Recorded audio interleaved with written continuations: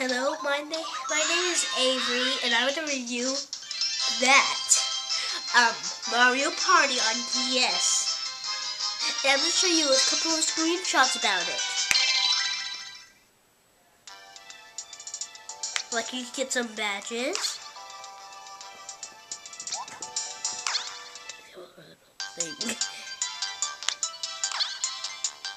You can do any battle you want.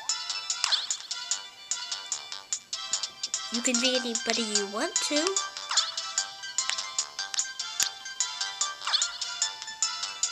You can do any team you want to.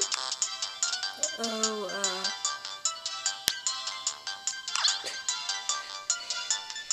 And you can go anywhere you want to.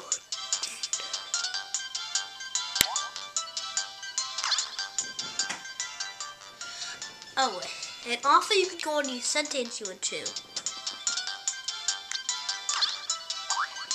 My favorite part about it is the part where you get to go in the shop. And this is the starting of one called Kamek's Library, an evil wizard that goes for Bowser the dragon.